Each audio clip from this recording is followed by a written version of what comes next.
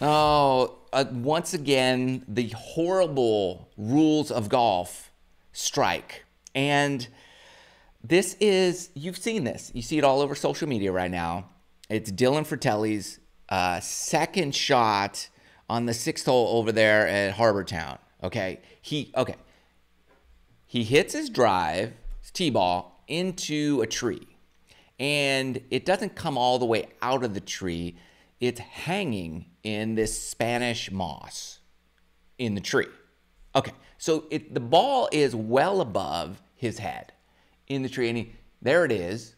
What are your options? All right. You can take an unplayable lie and go with the unplayable lie rules, right? Take a stroke penalty, drop your ball, play it out of the bunker. You'd be hitting three. You drop two, you hit three out of that waste area bunker that he's in. You get uh, two clubs from the nearest point of relief, or from you get two clubs from where the ball lies, which is in a tree. So you go to the ground, two clubs from there, I would imagine. And then you could have done that. All right, one stroke penalty, no big deal, whatever. Hit three, probably not on the green, chip up, that's four, one or two putt for a bogey, double bogey. Okay, that's a, that's a fine option. But then you're looking at that and you're like, well, I can reach it and the ball's sitting there. Now, and that's what he does. Like he takes like a, a three wood or something, has the club over his head, whacks the ball out into the fairway, hits it on the green, makes his putt for par. Right? Saves par. Like miracle, miraculous par. Love it. Everybody's like, hey, this is fantastic. Oh, uh, official comes up to him. Oh, by the way, uh, you violated rule, what was it? Uh, 10 10-1C, uh, which is you cannot straddle the line of you cannot like straddle your line of play and hit a ball. There's a few exceptions, but you cannot do that. Let's just say that. Okay, you can't straddle line. Da, da, da. Now, how else? This is what's so dumb about the rules of golf. Okay, there there should be like, okay, like in basketball right now, you got the playoffs. What do the refs do in the playoffs? They typically swallow the whistle a little bit more than normal. They don't call everything. They're like, oh, I'm going to let some stuff slide here because these guys are giving their all. It's a playoff. They're the best teams. We want the basketball to shine here. In golf, man, I wish that happened. I wish a ref could just swallow the whistle in golf and say, we're not going to call this. Let's use some common sense here.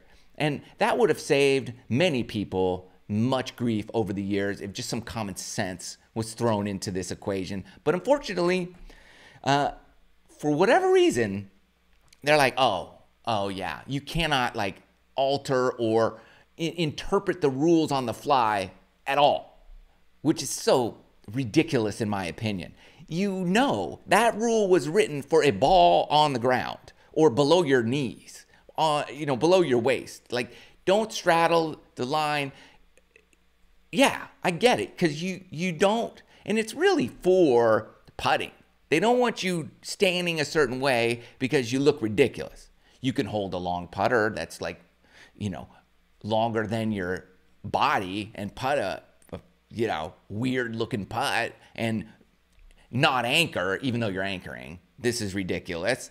You could do that and but you can't you, you straddle the line of play. And that's what essentially he did by standing behind the ball holding his club here and and swinging it at the ball dangling in the spanish moss knocking it out into the fairway. How else was he supposed to play this shot? Dude plays a shot right? So you could climb up a tree and that's happened before and hit your ball out of a tree he could have stood to the side and swung sideways, kind of like a baseball bat at a T ball that's above your head. He could have done that. That would have totally been fine too. But because he stood behind it and hit it out, the, the powers that be assessed him a two stroke penalty, which once again goes to show you that the rules of golf are so ridiculous sometimes that you cannot just say, you know what, just let's just forget it. Dude made a par. Don't worry about it. Here's what's funny. this is the crazy thing. When you watch the video, and you got to search around the internet for this, there's a point at which one, first of all, Dylan, he might have wanted to call a rules official over, which he may have done.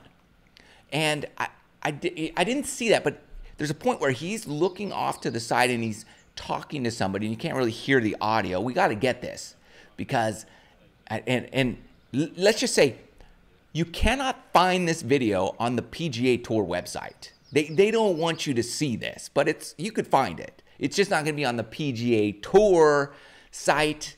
It's not on their shot link. It's not on their YouTube channel. It's nowhere because they want to cover things up so that you can't hear, you can't see, you can't interpret, you can't do nothing. I guess that's my that's my I, it's not there even though it should be there. So he's Dylan's looking over and he's talking to somebody because his ball is dangling in the Spanish moss, which is moving. It's also it's not um, his ball is in motion. You cannot hit a ball in motion but they, they don't call that. So he, he's talking to somebody, and it seems to be like a rules official because you would, in that situation, look, guys can't even take a, a, a drop out of a plugged lie sometimes, or if there's a water uh, accumulating on the ground, you have casual water, guys are calling in. Like you, these are drops you can totally do without a rules official. You hit it in the hazard, you know the rule. Take, you know, you know the, the rule, take your drop.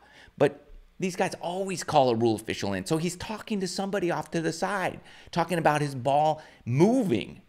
And so I don't know what the guy said, but you can hit a ball in motion in the water. Like if it's oscillating in the water, that's a specific uh, circumstance in the rules of golf where you can hit a ball, let's say in motion, or if it's oscillating but not moving in its position, you can also hit it. But this thing is dangling in Spanish moss. It's going to be not fixed. It's not stationary. It's in it totally in motion.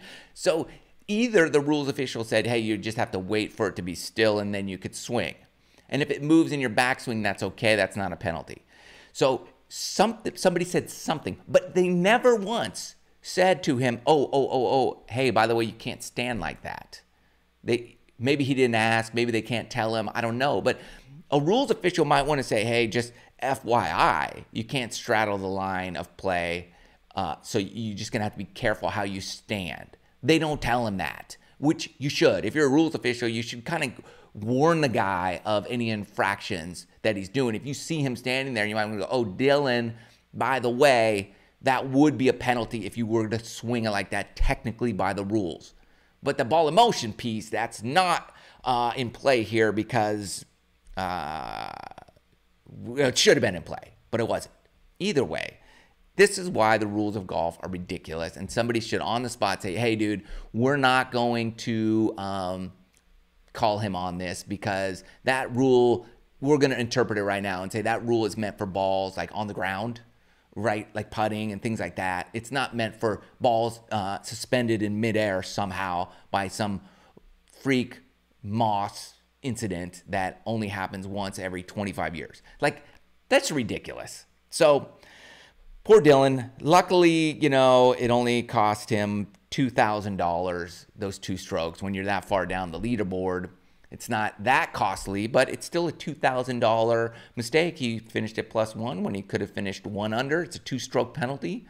And hey, when you're making minimum, the minimum uh, or, you know, the least amount, you made the cut, but you finished like last. So you made, you don't make that much money. I think he made like $16,000 in prize money.